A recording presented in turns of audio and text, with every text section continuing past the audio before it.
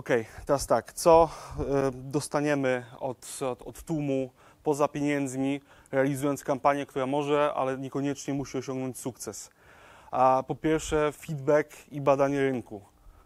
A drugim ważnym elementem jest właśnie modelowanie produktu, czyli swego rodzaju crowdsourcing, który e, gdzieś tam, tak jak mm, panowie z Trailboxa mówiliście, kwestia e, komentarzy już nawet w pierwszy dzień po odpaleniu projektu i to, co dostanie się od, od tłumu, a od tłumu, który jest nastawiony na, na, na, na sfinansowanie projektu, produktu, który chcecie stworzyć, jest bezcenna. Dla przykładu, właśnie też wspomniany Cooler Cooler. E, w pierwszej fazie odpalił się na Kickstarterze projekt tej multifunkcyjnej lodówki. Ktoś widział ten projekt?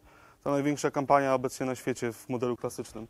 Domyślnie zbierali 150 tysięcy dolarów, zebrali około 100 tysięcy.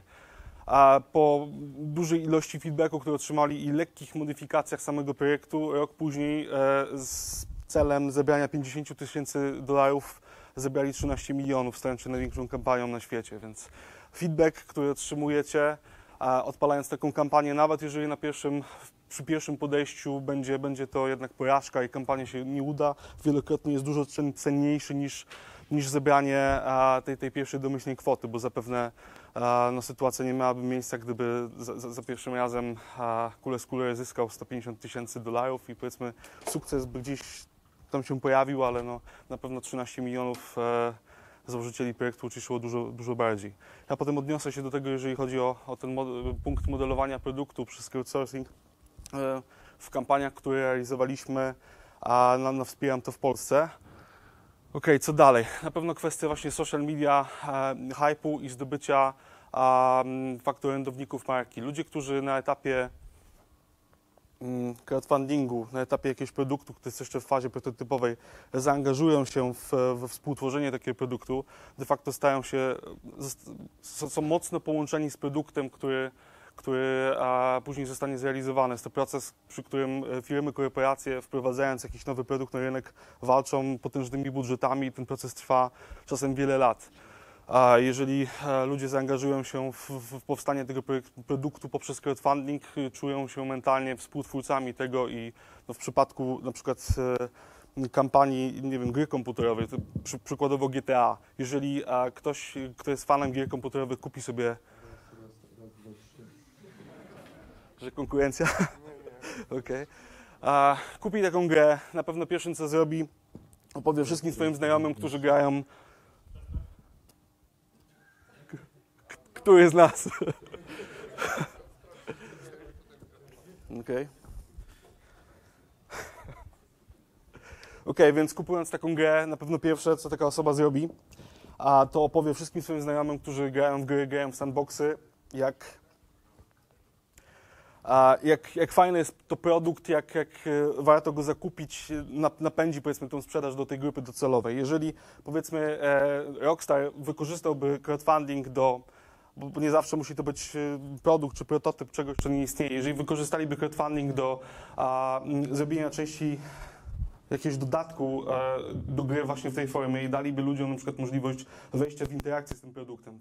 Przykładowo, tworzymy dodatek, ale jeżeli sfinansujecie jego część, będziecie mogli stać się na przykład częścią gry poprzez, nie wiem, udzielenie sobie twarzy, głosu postacią w grze, no to zasięg zasięg e, tego produktu, zasięg tej kampanii będzie wielokrotnie większy niż w przypadku a, klasycznych metod. To robiliśmy też w Polsce, to zaraz powiem a, w dalszej części prezentacji.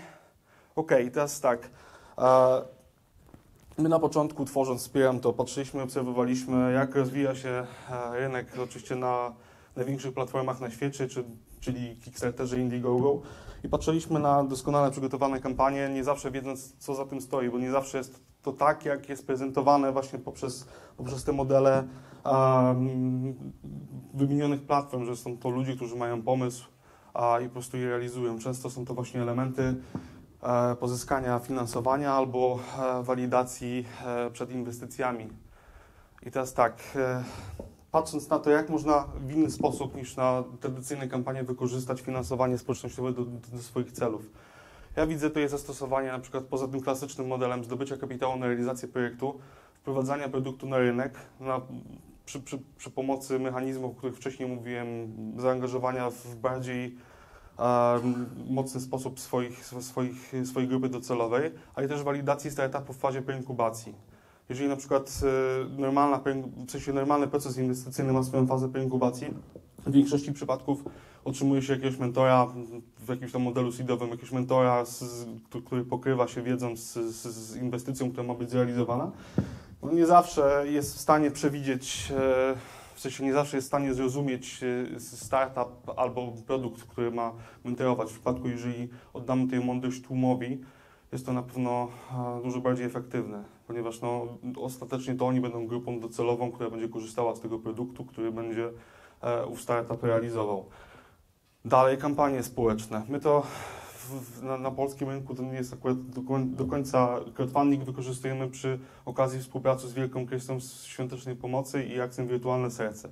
Tam powiedzmy nie jest, e, nie jest to do końca crowdfunding, jest to wykorzystanie tej społeczności e, nastawionej na pomoc i na współdziałanie, aczkolwiek na przykład realizacja e, odremontowania oddziału e, szpitalnego w Tanzanii jest na przykład taką akcją społeczną, do której można wykorzystać e, element crowdfundingu jako, jako sposób na pozyskanie tej grupy docelowej, sposób na pozyskanie pieniędzy.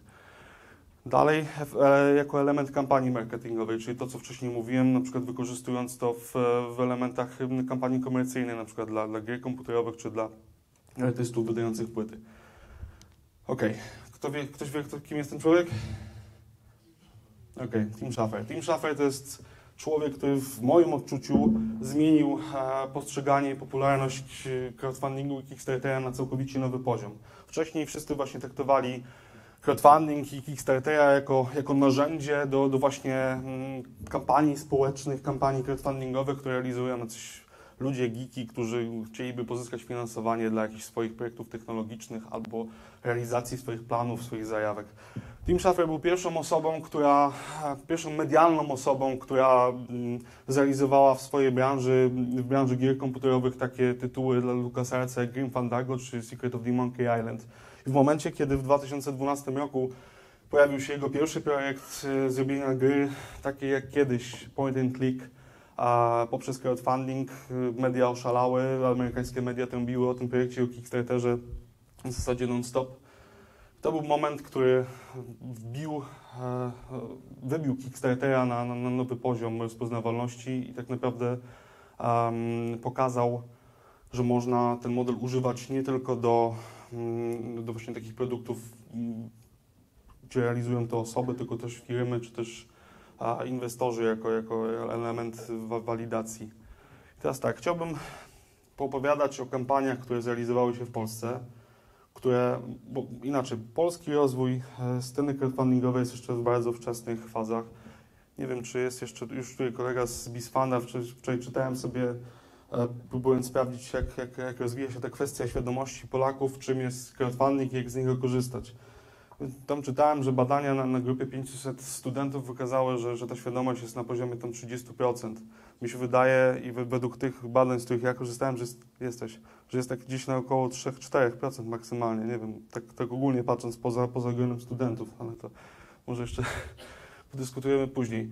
I teraz tak, na ten moment zainteresowanie i wykorzystanie crowdfundingu przez podmioty komercyjne, przez firmy, przez inwestorów w stosunku do Stanów funkcjonuje w troszeczkę odwrotny sposób. W sensie na podstawie kampanii, które zaraz Wam przedstawię, są realizowane kampanie i, że tak powiem, inwestorzy czy też podmioty komercyjne dopiero w czasie ich trwania zaczynają się w nie angażować, wykorzystując na przykład, nie wiem, że świetnie zrealizowane gry komputerowe mogłyby dostać jakąś, jakąś, jakiś zastrzyk gotówki i zostać wydane, wprowadzone w bardziej no, masowej skali albo też firmy czy agencje próbują wykorzystać crowdfunding jako powiedzmy, żeby zahaczyć tam swojego klienta. To się dzieje nagminnie w Stanach, w sensie tam to jest planowane od, od początku, jeszcze przed wystartowaniem takiej kampanii.